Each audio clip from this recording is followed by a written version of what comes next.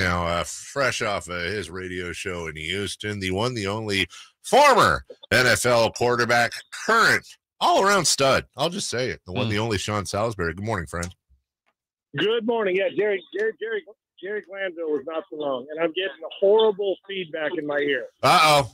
All right. So he's Yeah. We're He's getting it. fe- All that echo. we had we just had Matt Barrows on. Or maybe he had the feedback too. I don't know. Uh, we're are you still getting it, Sean? Hello, hello. Yeah. Yeah. good, all good. Okay. All good now. Yep. Sean, I want you as, as and we'll probably ask this question every week as long as he's going, but the Brock Purdy story is beyond a Disney movie at this point. Uh, I'm, I'm trying to stay in the moment as a fan and realize how rare and amazing this is. But screw him being pick pick uh, you know Mr. Irrelevant. Screw all that. I want to ask you as a quarterback coach, as somebody who analyzes the game, what do you see in Brock Purdy? Well, I think it's a hell of a question. Let, let me make one point clear that when we label these guys who draft people experts, first off, that position is the hardest position to um, to evaluate because we never know the, the intensity at each level, but also how they're going to be under duress until we see them under duress against grown men who do it for a living. It's different at every level, high school to college, college, and then having good players around you. How you just we're trying to find reasons people are to diminish or shrink Brock Purdy's ability. I would not. There's not, and I and you guys know I've talked about Jimmy. I think Trey's talented, and you know I'm a Jimmy Garoppolo fan. You- the, the, this is Brock Purdy's job moving forward now and the next year. You got to take it away from him. Here's why, and judging the position. So we got to quit giving people who evaluate it. They miss. They they miss on guys because he was drafted late. We all of a sudden throw the stigma on him that well he was drafted last, so he can't be that good a player.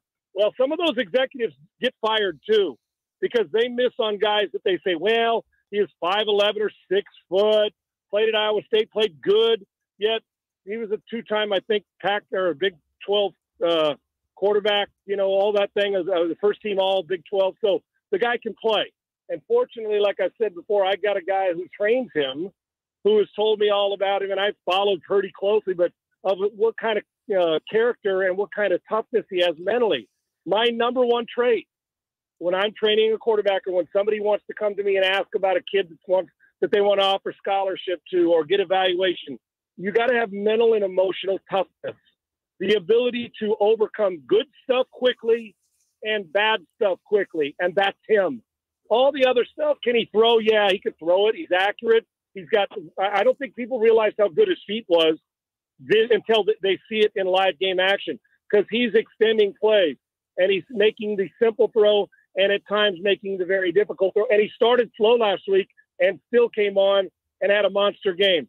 He gets over stuff quickly, and I mean good and bad. So I love his approach. And there, when I watch him, if you didn't tell me he was a rookie, and it's the first time I've seen him, I'd say, man, why haven't I heard about this guy who's been in the league for for six years?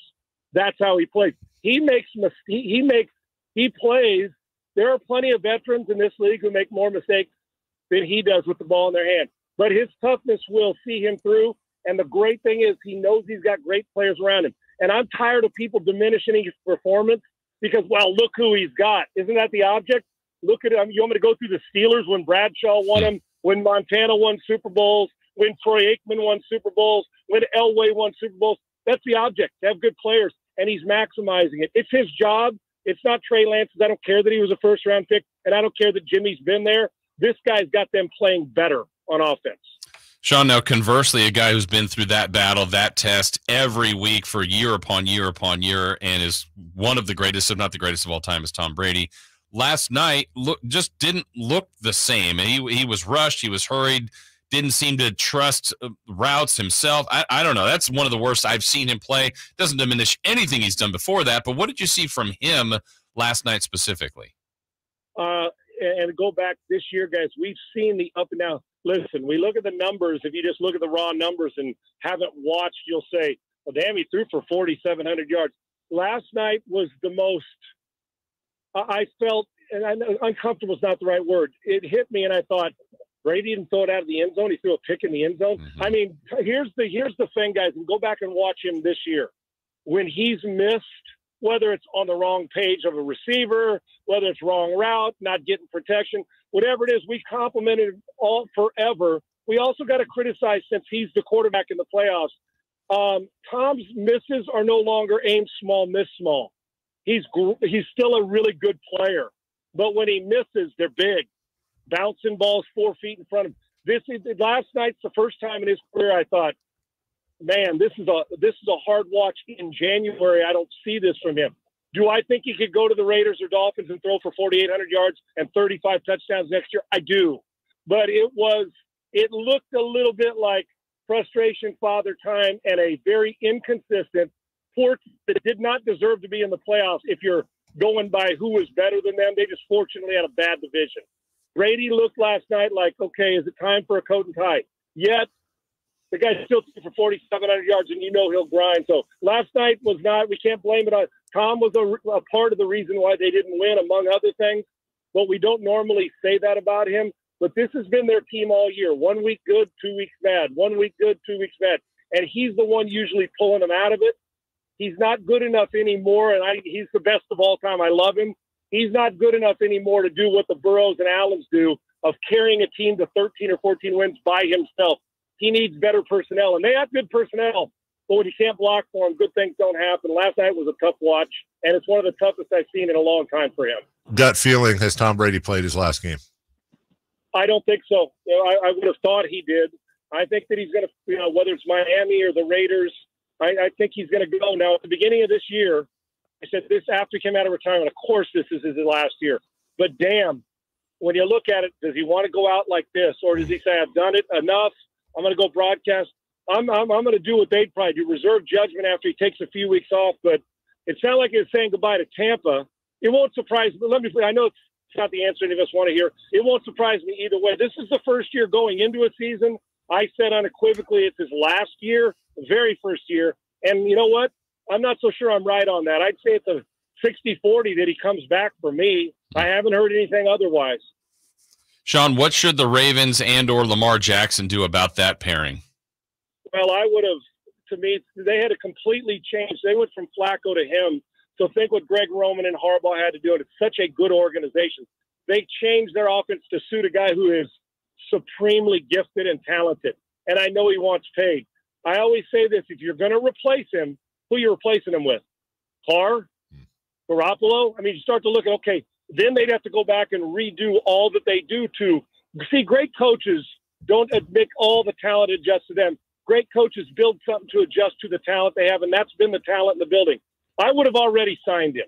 I think he's a dynamic player. He's got to get a little bit better from the pocket, and I you can't sustain running the football as often as he does. There's going to have to be adjustments as he moves on in his career. But I, what's the alternative? Hell, I mean, I mean Andy Dalton, uh, Jameis Winston, and I've I mentioned Jim trading for somebody else. Carr's good, Jimmy's really good, but neither one are as dynamic, and you'd have to change everything. I can't fathom them moving on from him. But for the money he's going to command and probably should have already been paid, and with the injury situation, I think it's going to be evaluated. But you damn well better have somebody awfully good to replace him. Last thing for you, and we only have 30 seconds, Sean. I know we're always moving so quick, but with the there's there's being some stuff made in the media about the Cowboys playing late last night, and then they're going in and playing the Niners on a short week, whereas the Niners played on Saturday. Again, as someone who's been in the locker room, has been through all this stuff, is that media stuff, or does that have a real effect on players? Well, I, I, I think it has a real effect. First of all, the Cowboys now they may not have time to think much about the way that they beat up on Tampa. This is a different animal. You're playing the 49ers in their building, and they are not going to make the mistakes Tampa made. And rest at this time, rest matters. I think it's really important that, that, that for the 49ers, I like the 49ers in the game, but if the Cowboys play like they do last night, this game will be a fourth quarter game.